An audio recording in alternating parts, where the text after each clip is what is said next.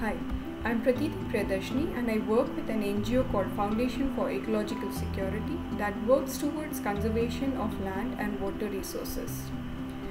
All of us are aware of the growing water crisis and might have also experienced it in one form or the other. India ranks 13th among the world's extremely water stressed countries, and 54% of our country faces high to extremely high water stress situations. Climate change further amplifies this crisis and its impact on people. We know that crores of investment is made to improve availability of water by constructing and renovating water bodies or by drilling and deepening wells and bore wells. But our water resources continue to decline at unprecedented rates, and this indicates that what we are doing is just not enough. Research and practice shows that improving coordination and management has a pivotal role in addressing water crisis and one of the ways to do this could be through the use of experiential learning methods and tools that can help in social learning and improving coordination and collective action. So FES in partnership with research institutions such as the International Food Policy Research Institute the Arizona State University, Washington University, and Boston College has been working to develop and apply experiential learning methods and tools to add rigor to practice and to strengthen collective action. I would be sharing uh, about three of these methods the groundwater game, which builds on principles of game theory, crop water budgeting, and community based system dynamics. So the groundwater game helps in creating a real life situation of the dilemmas that farmers face in balancing the need to conserve water with that of generating income. In this game, the players are given a choice of selecting between two types of crops. One that is water intensive but fetches them a high price in the market, and the second crop which demands less water but also fetches them a lower price in the market.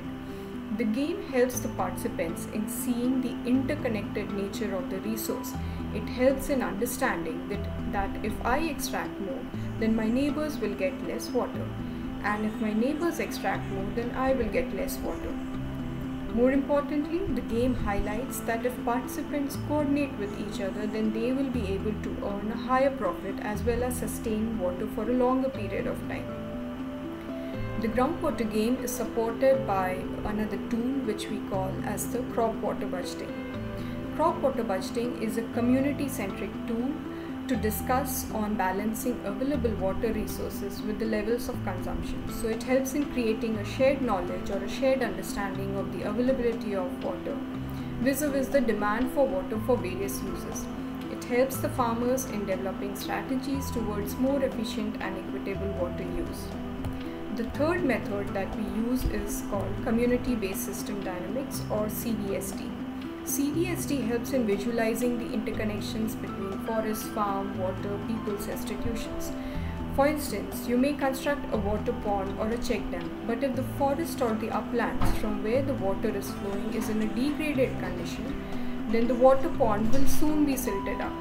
Similarly, if the people do not coordinate with each other, for using and managing the water pond, then the water may, or, may also soon deplete. CBSD helps in understanding the cause effect relationships between different components of the system and in visualizing how the decision that we take today will impact what will happen in future, thereby helping communities in taking more informed decisions. Self-governance by local communities can be a very effective way of sustainably managing natural resources. Local communities and community institutions have a very critical role in climate action. And I believe that as development practitioners, our role is to enable communities to become discoverers and owners of their own solutions. Thank you.